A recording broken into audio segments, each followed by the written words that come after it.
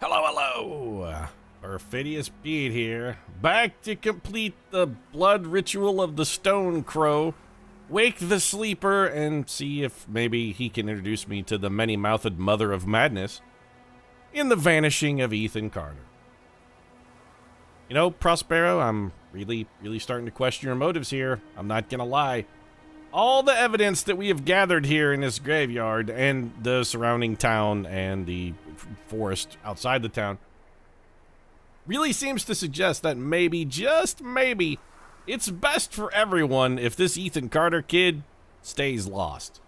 Like, if he never gets found, I think I think it's it's best for everybody here. But no, no. Apparently, Paul Prospero here went to the Miskatonic School of Private Detection, and he just doesn't know when to let that which man was not meant to know remain unknown. No, no, he's gonna go poke around on it. You toss him a copy of the Necronomicon, he's gonna read it. He's gonna keep probing its depths, gonna keep picking at it, wiggling it around like a kid with a loose tooth. Just, you know what, Paul? Stop picking at that loose tooth, man. It's gonna get infected and fall out. And you know what? Call me crazy, Prospero, but uh, you don't want to have to get that tooth replaced. That shit is expensive, and you don't exactly seem like the sort of guy who would have top-notch dental coverage.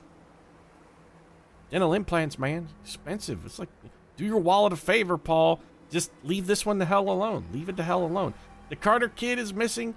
You know what? So what? Who gives a shit? His whole family wanted him dead. Does that carry absolutely no weight with you and the maybe dead is better kind of thing? You got to get Fred Gwynne in Pet Sematary on this and just say, sometimes dead is better. Also, why does my Fred Gwynne from Pet Sematary sound a little bit like Bane from The Dark Knight? Or Batman, sometimes dead is better. In your case, all the time. Oh. Honestly, my Bane is terrible. But you know what? I'm still, I'm not kidding about the tooth, though, Prospero.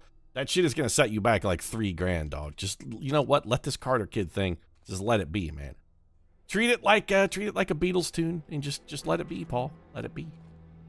So we're looking for a busted lantern, which we had a little vision told us was somewhere in this chapel, like lying scattered on the floor. It's probably over in that direction. This chapel is very dark. They're doing some pretty cool stuff with the lighting, though. The shaders look really good. What's over here? Um, a whole lot of nothing. It's real dark back here, so we can't really see shit. Uh, I just heard the crackling thrum of the many-mouthed one.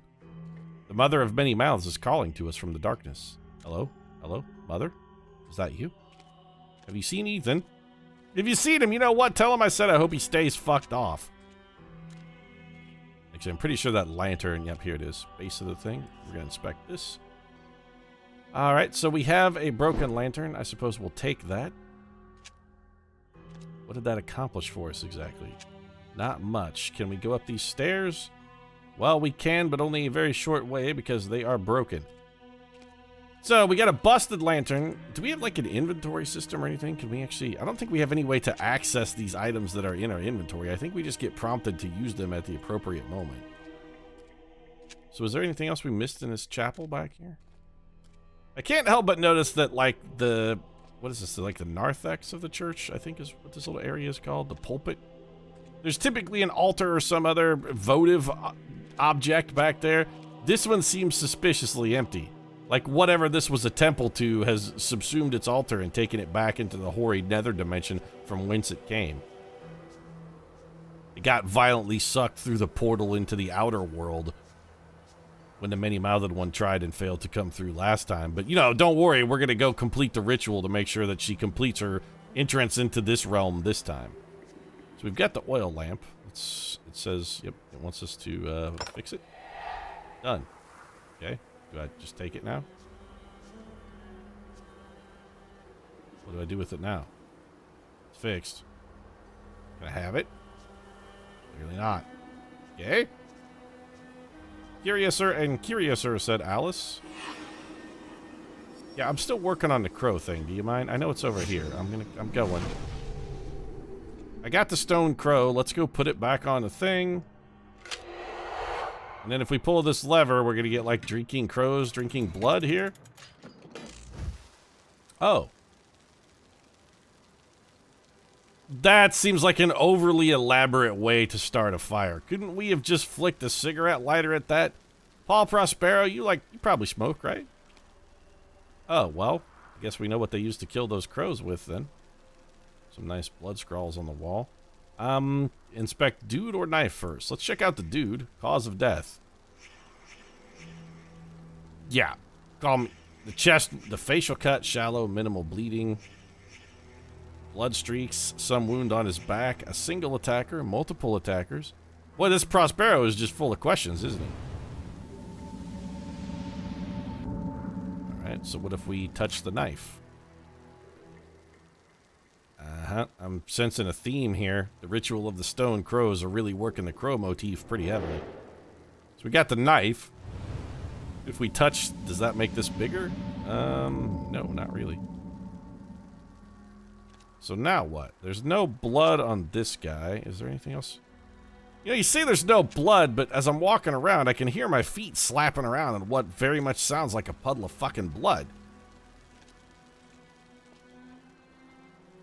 And so we've got a crow knife. What if we pull this again? Does this go out? Nope. Gonna restart the fire. Well, I mean, the fire's probably already pretty good. Can we, what if we touch this man again? Nope, we're just gonna get the same vision of his death. Okay. So we have to go find more objects then to figure out what happened to Jimmy the dead guy. Wheelbarrow. We've already inspected you. Um, oh, here we go. So we've got the dagger now. We can bring it over to where the crows were murdered. Did that help us somehow? I mean, it made the little gasping sound, which means that, you know, something has happened. What's the purpose of the oil lamp? We got a wheelbarrow, an oil lamp. I mean, we got the gasping sound, which means this should be bigger. Is it big enough to figure out what happened?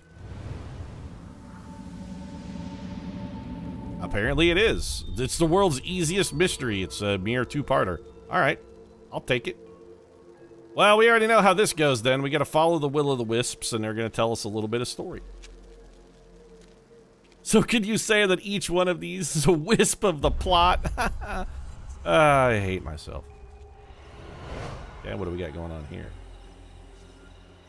Okay, so this lady, you're new, ma'am. Who are you?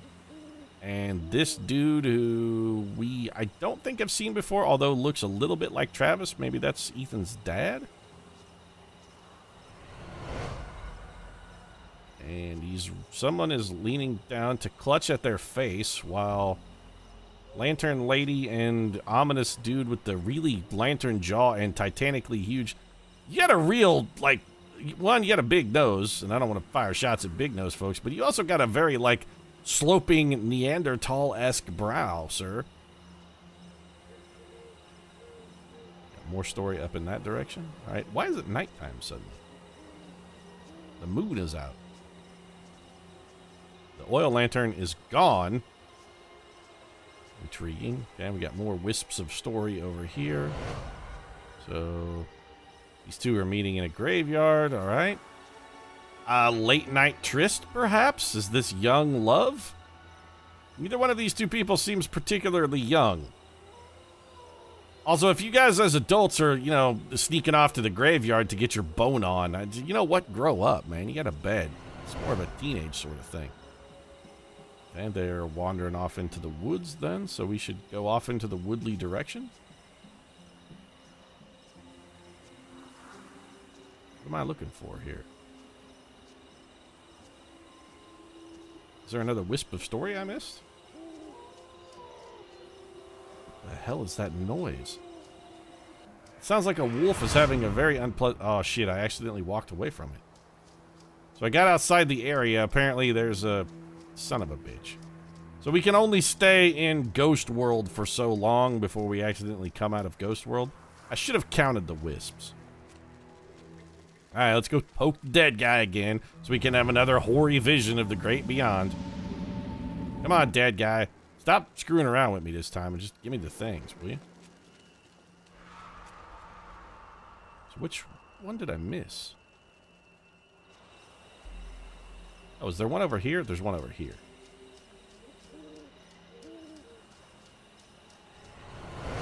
All right, so now we got to figure out the chronology. So wait, these dudes are fighting? Who's fighting here? Uh, this who's this bald guy? Where did Baldy come from? Uh, this is definitely not one. That might actually be last. Let's let's put that one as number five. I'm pretty sure he got stabbed last. Here, homeboy's clutching his face. Here, they're taking him into the tomb after he's clutching his face. He doesn't seem to have a knife in his back yet, though. So, probably like up here is one and two. Where did Baldy enter the picture? So they don't have a lantern yet. Okay, so this has got to be one because no lantern. Which then I'm guessing makes this two? Then they pick up a bald man somewhere, probably at Baldish General. The Balder store, also I guess would have probably worked there. Um, this seems to have happened first, so let's call that three, and then this four. And let's visualize. Are we correct? Our boy. Chad is putting our boy in that crypt. And bricking him up, Who's Chad? giving him to the sleeper. Forever. So this is Missy and what was the other guy's name? This must be mom and dad for Ethan? Ethan's mother and father? Hell's going on? Oh, Travis interrupted him. Alright, so that is clearly not number two. So Travis found out later? So maybe this is like your two? That would then make you three? And then this would be four? Our boy. Chad is putting our boy in that crypt. Okay, so Missy and Dale are mom and dad. Got it. Travis is the brother. Ed is the father. Who the fuck is Chad? You want to fill me in on this whole Chad thing here? It's getting a little weird. Chad, let me see. Nope, we dicked it up again. All right. So this has got to be two, and that's got to be three then. They interrupt Chad while he's bricking and perhaps smash his head in. So let's make you previous, and then you go to three. There we go. Visualize this. Our boy. Yeah, we're skipping this because we already saw that. You know this is wrong. Chad, finish those bricks before he wakes up. Oh, here comes. Oh, Ethan jabbed him in the face. You know, say what you want about this Ethan Carter kid. I'm pretty sure he's the harbinger of the apocalypse, but the me kid's see. got spunk. Gotta give him credit. This is Dave's fault. He should have been helping. Yeah, help helping you murder his son. You are who, by the way, Chad? Always Are they gonna kill Dale? Uh, we've mucked it then. The hell's going on? Okay, so that that bit is the final chunk, and then we got this story completely out of whack. So this is part five.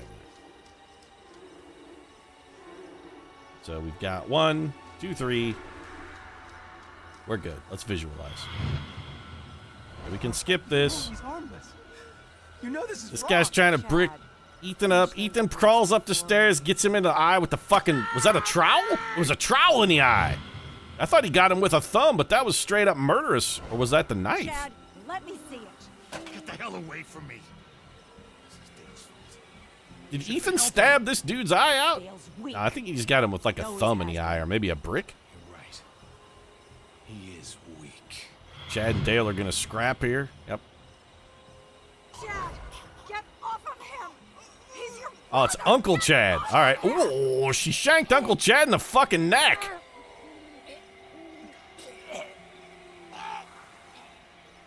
So what happened? Ethan then, while they were busy stabbing each other, made his way out of the tomb and escapes to his brother Travis, who then tries to tie him to the fucking railroad tracks. The hell's going on? Where's Ethan? The one who sleeps must not sleep. Your Uncle Chad is dead. Rose. Ethan. So Ethan escaped, but the crows dropped fucking dime on him. You know, being a stoolie is mostly known for pigeons, crows. I gotta say, you guys are acting a little bit out of character. If you're gonna stool on a guy, typically it's, it's reserved for pigeons, not crows. So we can find out what happened to Ethan after they tried to brick him up in the That's not right. cemetery. Ethan's our boy. Dad, I need to get into the mine. What? Mine? Mine? My, my key. I, I don't have Why it. do you need to go to the mine? I guess I'll use the tunnel near the gate. Just, just keep Mom away from me, all right? She's sick. You're all sick. Are they Ethan, or is it maybe you who is sick and they who are the cure? You ever think about that, Ethan? Huh? The sleeper must not sleep. Ethan disturbed something. Whatever it was, it got out into the air and into the minds of his family. Mm-hmm. It's the many-mouthed mother of madness. It's fine though. I mean, she once she's gotten uh, her fill of sanity, she usually crawls back to the mine, curls up in a little ball, sleeps for another ten thousand years. It's not really that big of a deal. Sure, she's going to devour a couple small towns. I mean, that's going to happen with your Eldritch abominations. Some small towns are going to have to be sacrificed. But it seems like this one's already pretty much on its way to being dead. And really, Paul Prospero, I think you're just a cup here kind of being a bit of a shit disturber. This really seems like the sort of thing you ought to maybe just let go, pal. Okay, so this curves back down around to the path that goes back to town. So, I mean, fuck it. If we're going to go look for a mine, this sort of seems like a mining trail to Pete. Let's go see what's up here. I'm sure it will in no way be fucking horrible. Just a dead end with some trees, huh? All right. I do appreciate that the folks at the astronauts have given me plenty of like little cubby holes and niches in which to uh, sort of sate my desire for exploring by just dashing into them. And I can just kind of like go wander off into the middle of nowhere. It doesn't actually go anywhere, but it keeps my idleness entertained for like 98, you know, like between 90 seconds, two minutes. Just go off, have a bit of a wander. Go off, have a bit of a wander, eh, governor? Yeah, that's right. Sometimes the path not taken is the best path you could have possibly took. Of course, you won't know that because you didn't take the path. They're gonna ask Robert Frost about that, and he'll tell you he's full of shit. It's over here, though. Just a big old dead end. Well, once again, the astronauts have uh, cleverly taken advantage of my explorative nature to make me go to a place I didn't need to be. Padding, ladies and gentlemen, padding. Need your game to be a little bit longer than it is? Trying to get an extra 20 to 30 minutes of playtime out of your overall narrative experience? Add in some places that don't go anywhere so and just make it look intriguing and secret so that players will go crawl down them. Again, I'm not I'm not firing shots. I actually like this. It helps pad out the experience. Gives me something to do. When I need a break from the horror that is the story, you know, I can be like, hey, I'm just going to go wander over here and see if I can get up these rocks. The level of exploration available in the Vanishing of Ethan Carter, I'm actually surprised. There's a lot of these places I can go that I would not have expected. Oh, this is not cool though, guys. This isn't. This isn't. You just invisible walled me. This is the first time in the whole game I've felt invisible walled right here. You shouldn't let me climb this high up the hill if you're going to put an invisible wall. You got to put it down lower on the slope so it feels like the hill is stopping me, not some fucking invisible barrier summoned by the Boneless One at the behest of our Uncle Chad. Thanks, Uncle Chad. Put the invisible wall there so now I can't fall off the cliff anymore. Oh, that Uncle Chad. dead have to say? Concerned about safety. You'd be surprised by how little they know. The dead can't explain what it means to be dead. I wouldn't really. They walk downstairs Uh-huh. that disappear beneath their feet, Okay. headed for some bright blade of memory they'll never reach. Okay. That's real deep, Prospero. This guy, I kind of feel like Paul Prospero mixed his uh, missed his calling, and that really what he should have been doing is one of those guys who writes the slogans for motivational posters. That one right there, it should have just been like death with a picture of a dead guy in a coffin, and it could have been like reaching for a glade of bright memory you'll never reach, and then you could hang it on the wall at the office, and everybody be like, uh, you know, Pete, that's not. We're, we're really usually going to see one that says something like determination or uh, perseverance or something a little more uplifting and be like, hey, everybody dies, bro. Everybody dies. Doesn't got to be sad, though. What if you're uh, just going to go wade into a glade of bright memory? Ever think about that? Then they call you an emo freak and ask how much My Chemical Romance you listened to this week. And you have to say, well, you know, probably like their entire catalog. Like my MCR, what can I say? Really, Pete? Their entire catalog, even the weird album that they published on like Amazon. You know what? Yeah, I did actually. That album's pretty good. The Light Behind Your Eyes is a great song. Then they take the plaque down one week while you're on vacation. They'd be like, you know, it was just, I'm sorry. I'm sorry, Pete. It was just too morbid. We took it down. Fine, whatever. Just put up your one that says, like, grace and then has a thing about how it's useful to maintain it when under pressure. So if we are ever going to a mine, though, this is definitely the way down to the fucking mines, right? This is it. I'm starting to feel a little bit of Seven Dwarfs here. I'm waiting to see if, like, Doc and Happy and Slappy and Jappy show up and start oh, coming around. Jappy, by the way, was, like, the most racist dwarf Disney ever invented.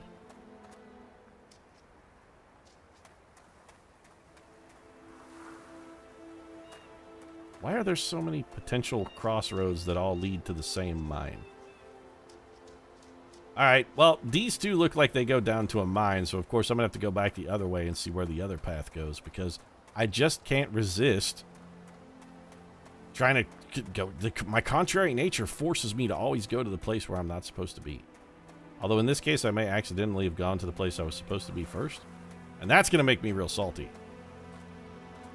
Yeah, there's some kind of hidden forested glade back here with the thing. Enter. You know what? No. I want to come down here and look around a little bit first.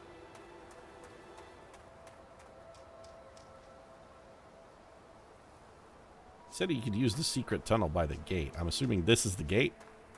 And we only know about the secret tunnel because we have experienced the narrative bit that let us unlock that. If we had wandered up here I'm curious if we had wandered up here without exploring that story beat, if we would be able to go find that hole in which to enter it. Find that hole in which to enter it, the Perfidious Pete subtitle of my autobiography. Perfidious Pete, looking for that hole. Oh. Trickle boxes, alright. So now we're just out in the ass into nowhere, though, right? I mean, we're just in the middle of fuck all nowhere. Oh, the the what? The light off the lake, though, man. Every time I think I've become inured to the like graphics and the fantastic level of detail and work that was put into the visuals in Ethan Carter, I stumble across something like this, and then I just like bam, mind re-blown again. Just when I think my mind's as blown as it can possibly be, I stumble across this, and except for the bloom effect, which is a little overbearing, this is freaking gorgeous. Just a quick tip from Perfidious Pete to any potential game developers out there. If you're going to use Bloom in your product, that's fine. Bloom is cool. But whatever level of bloom you think is appropriate, like when you think you've really got the bloom dialed in and it's dead bang right where it needs to be, lower it by 25% from that figure and you'll actually have hit the magic spot. I'm not hating on bloom, I'm just saying, you know what? You're oversaturating a little bit. Wherever you think the magic spot is, Drop it down by a quarter, and you'll actually have found the magic spot. Same thing goes for Perfidious Pete's sexual encounter. Wherever you think the magic spot is, Pete, you have no fucking idea what you're doing. Go about 25% lower on the Mons there, and you'll actually have hit the spot you're looking for.